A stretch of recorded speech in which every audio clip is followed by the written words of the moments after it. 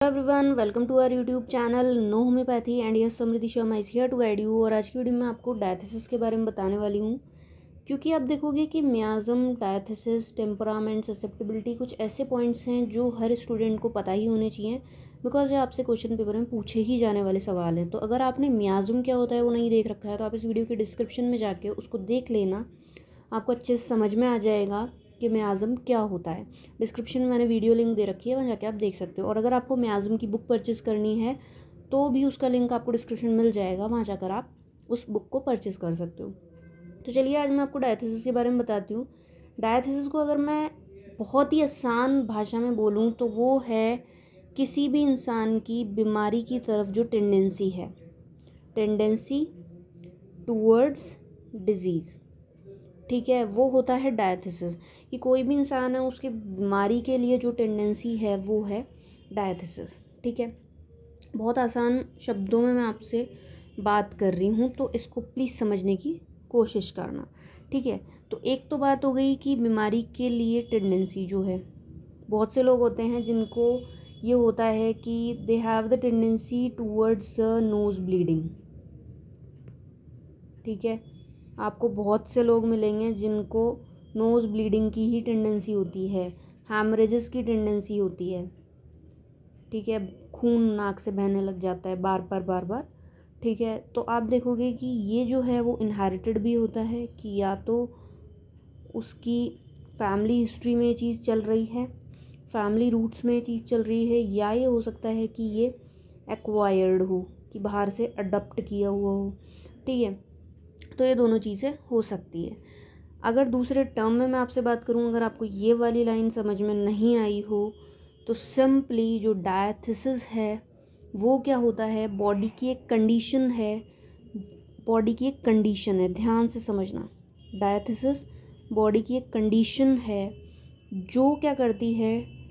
जो टिश्यू को एक सर्टेन वे में रिएक्ट कर, करवाती है। टिश्यू को सर्टेन वे में रिएक्ट करवाती है। किसके रिगार्डिंग?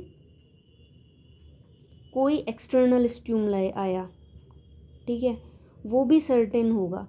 तो टिश्यू को रिएक्ट कराती है सर्टेन वे में, सर्टेन एक्सट्रीम, एक्सटर्नल स्ट्यूमलाई के लिए और जो पर्सन है उसको किसी सर्टेन डिज़ीज़ के लिए ससेप्टेबल कर देती है। ठीक है, जो किसी इंसान को कोई सर्टेन डिज़ीज़ है, उसके लिए ससेप्टेबल कर देती है। तो it is a simply the condition of the body which makes the tissue to response in the certain way to external stimuli फिर वो क्या करता है? वो इंसान को एक सर्टेन जो डिज़ीज़ है, उसके लिए ससेप्टेबल कर देती है। तो ये एक बहुत ही इजी लैंग्वेज में फिर मैंने आपको एक टर्म बता दी कि इसमें क्या हो रहा है कि टिश्यू जो है वो किसी सर्टेन तरीके से ही रिएक्ट कर रहे हैं, किसी सर्टेन स्ट्यूमलाई के लिए और किसी बीमारी के लिए उसको ससेप्टेबल बना रहे हैं। वो सर्टेन बीमारी है, ठीक है? ये एक बात हो गई। यानी कि जो डायथिसिस है, वो सिंपली क्या है? नॉर्मल ससेप्टेबिलिटी और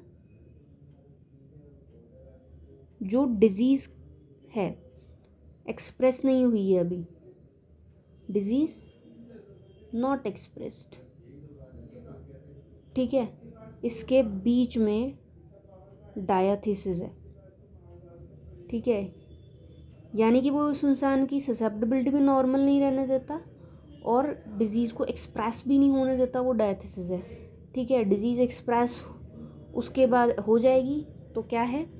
कि वो अपने आप ही साइन सिम्टम्स दिख जाएँगे। ठीक है, जिसकी टोटैलिटी जो है वो डिज़ीज़ बनाती है। But diathesis is simply the tendency towards a disease कि इस बीमारी के लिए तो इस इंसान की टेंडेंसी है। फैमिली रूट में चल रही है या फिर इसने एक्वायर्ड कर लिया, ठीक है?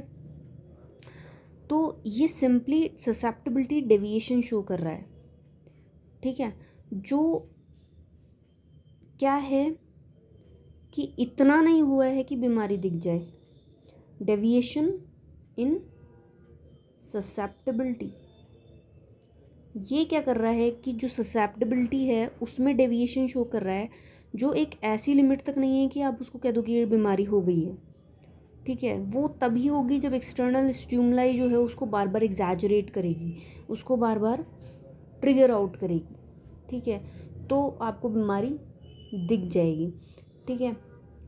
जैसे सपोज़ कोई इंसान है, उसके फैमिली रूट में यही है कि ज़रा सी भी स्ट्रेस लेके नोज़ ब्लीड होने लग जाती है।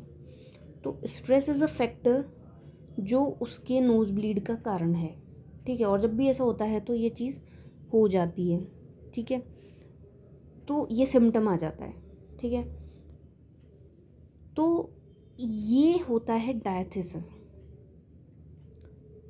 कि जो डिज़ीज़ है वो भी पूरी डेवलप नहीं हुई है। लेकिन बार बार क्या होता है, कुछ स्ट्यूमलाइज आके उसको एग्जैजरेट कर देते हैं। ठीक है? So this is the definition of diathesis तो मैं एक बार और आपको बता देती हूँ कि it is a tendency towards a disease ठीक है? और कंडीशन वो कंडीशन है जिसमें जो टिश्यू है, वो एक ऐसे सर्टेन वे में रिएक्ट करते हैं किसी स्ट्यूमलाई के लिए और एक सर्टेन डिज़ीज़ क्रिएट हो जाती है।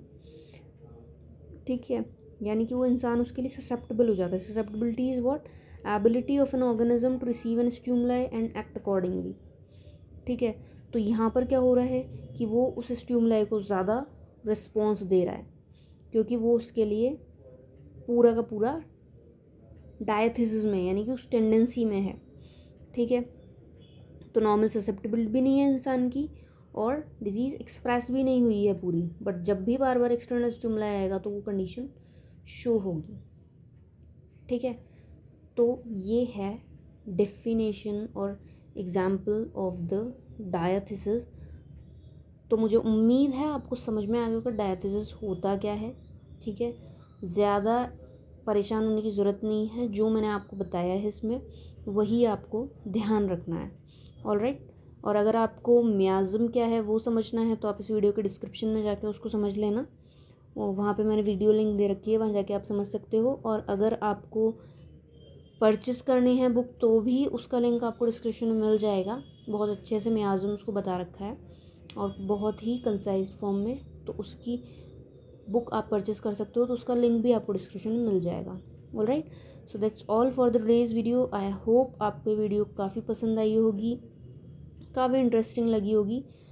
सो so, अगर आपको ये वीडियो पसंद आई है तो इसे लाइक शेयर करना मत भूलना और चैनल पर अगर पहली बार आए हो तो इसे सब्सक्राइब ज़रूर कर देना। So thanks for watching know homoeopathy